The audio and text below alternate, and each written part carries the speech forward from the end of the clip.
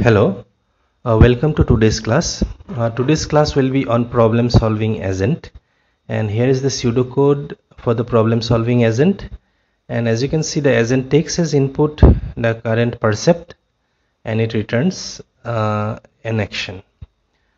And this agent maintains a sequence which is a sequence of actions.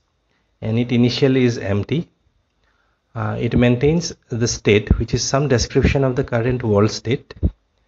It maintains a goal which initially is null and it maintains a problem which is the problem formulation. And if we look at the body of the pseudocode, we will see that we basically have three steps.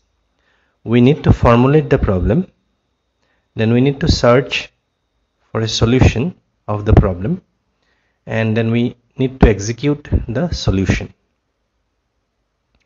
Uh, these two lines in the pseudocode constitutes the formulate step and here we are formulating the goal and we are formulating the problem. So problem formulation is the pro process of deciding what actions and states to consider given a goal. In the previous class we have discussed in details uh, about problem formulation.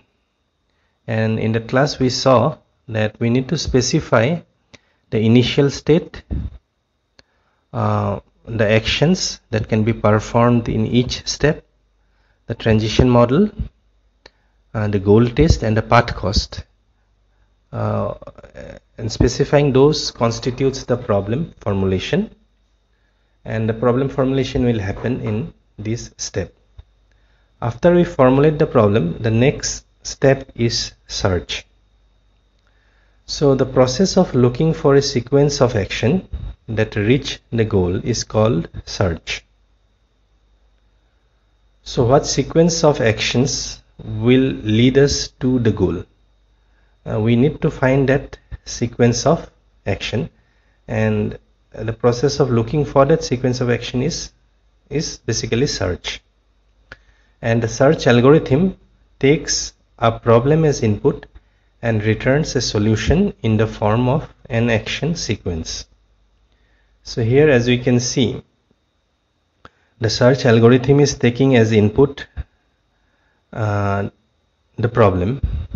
And problem is the output from the problem formulation step.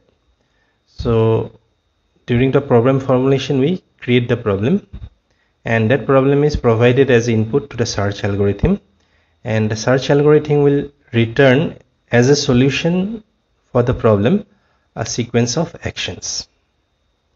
And now we need to execute those actions that has been specified in this sequence of actions. And that constitutes the execute step. And these two lines in this pseudocode constitute the execute step so once a solution is find found the actions uh, recommended needs to be carried out. And this is and this is done in the execution phase.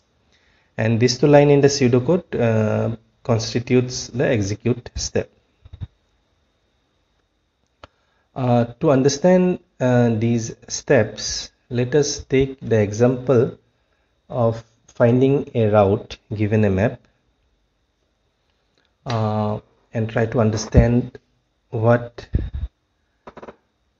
the different steps in this pseudocode will do.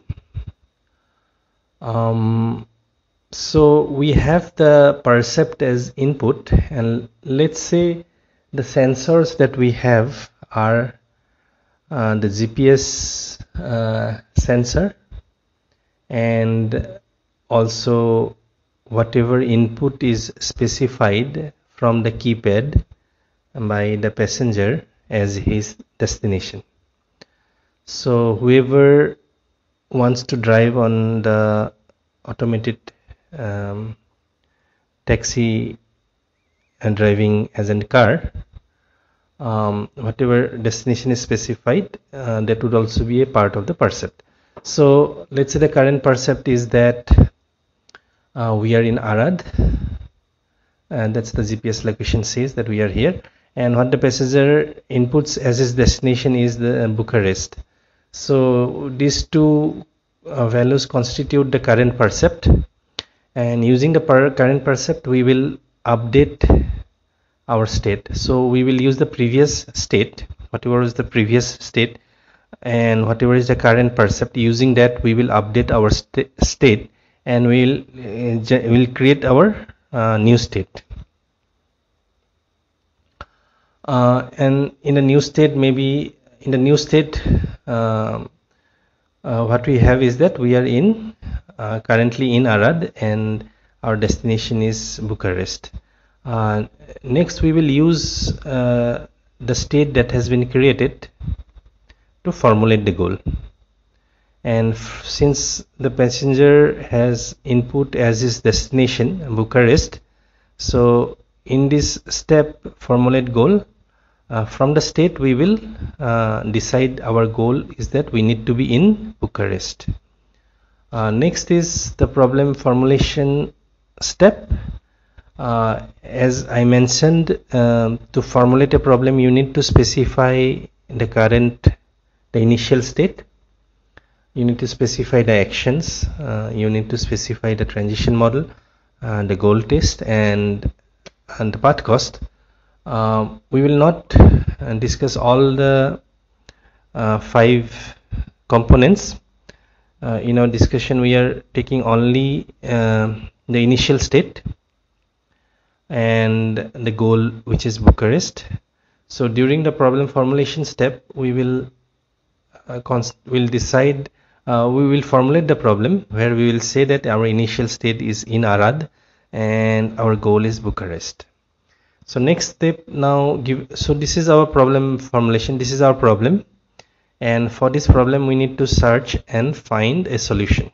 So we need to find a solution for this problem and we will ask our search algorithm to find a solution for this problem and what the search problem uh, what the search algorithm will do is is taking this problem as input. This is a problem. A problem is that we are in initially our initial state is in Arad and the goal is to be in Bucharest. So that's our problem and that is provided as input to the search algorithm.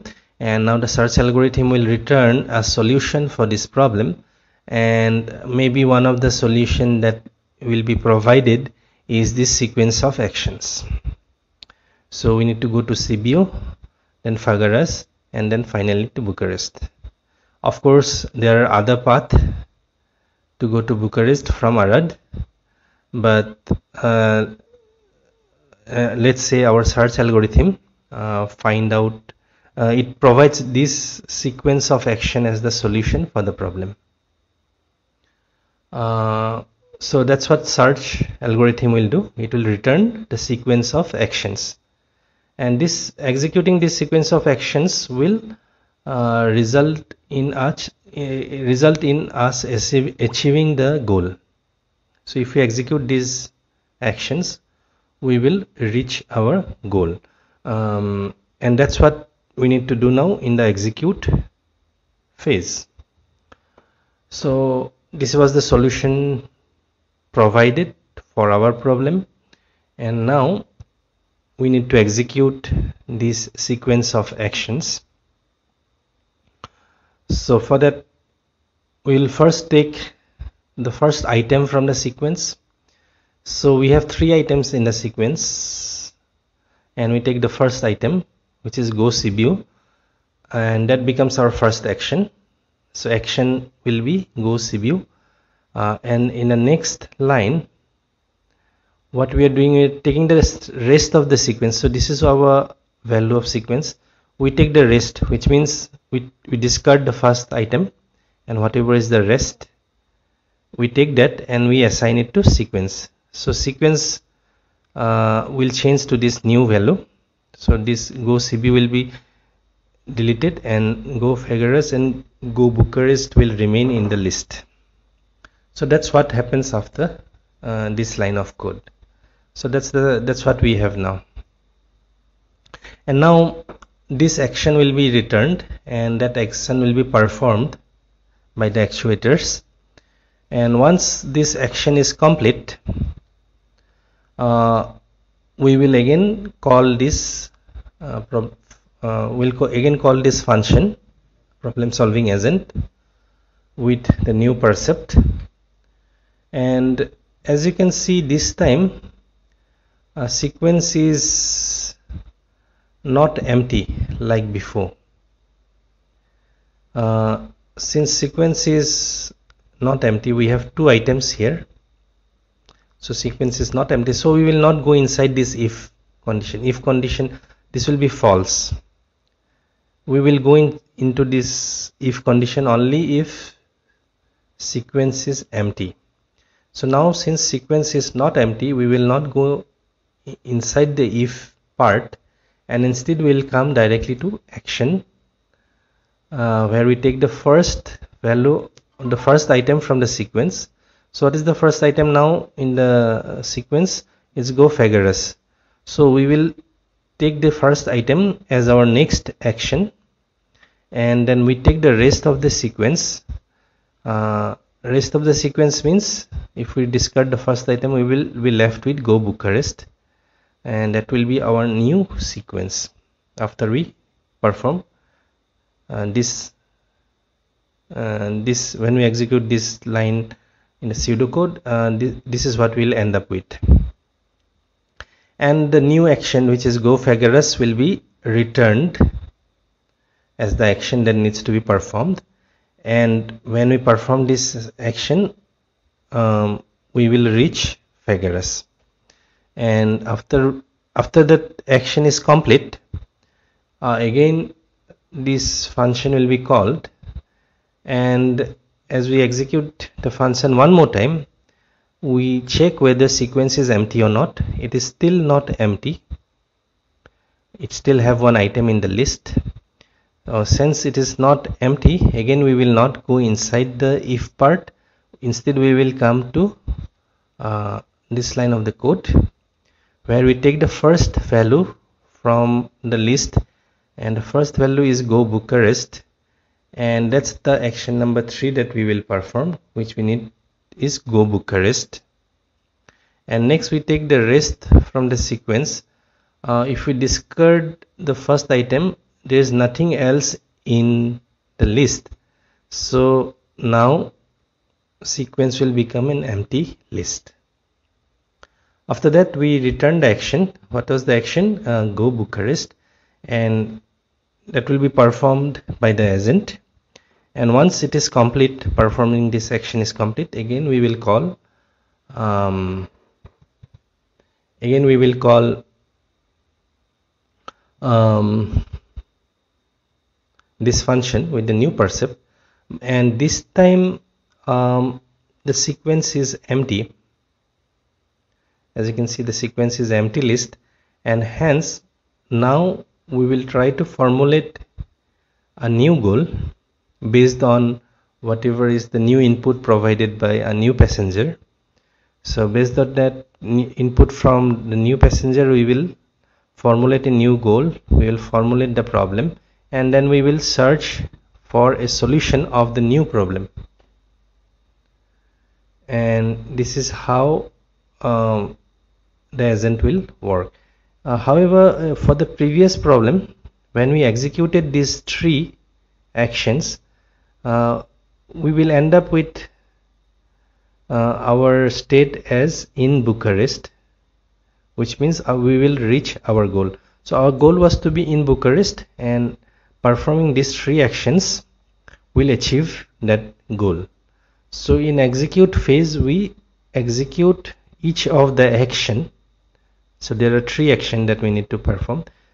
So during the execute phase we will perform each of these actions that is mentioned in the solution for the problem. And once we uh, finish executing all the actions uh, by that time we will reach our goal of the first problem. And by that time the sequence list will also be empty.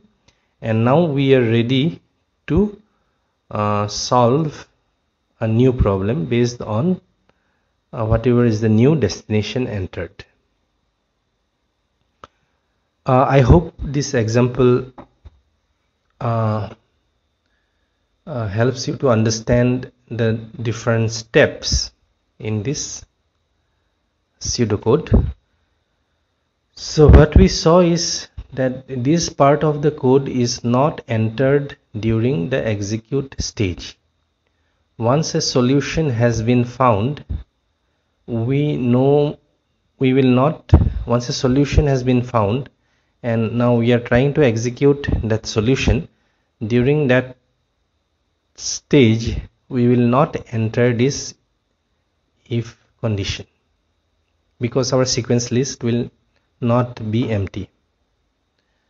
And also you may notice that uh, when we are in the execute stage we don't actually make use of the percept. So because our actions are already determined and the new percept actually is not used uh, during the execute stage. Of course we update our state but then we don't use it to decide our actions. Our actions has already been decided when we found the solution for the problem during the search operation.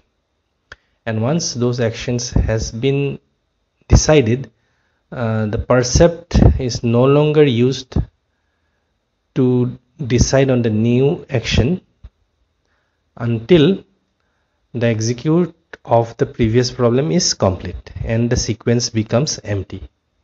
Only then new percept will again be used to formulate a new problem and then again to search. So as you can see one of the important step in this pseudocode is this search algorithm which has to find the solution for the problem. And there are different search algorithms um, which will which can provide the sequence of actions as the solution for a problem and in our next few class we will talk about different search algorithms. So that's all for today. Uh, thank you. Bye. We will meet in the next class. Bye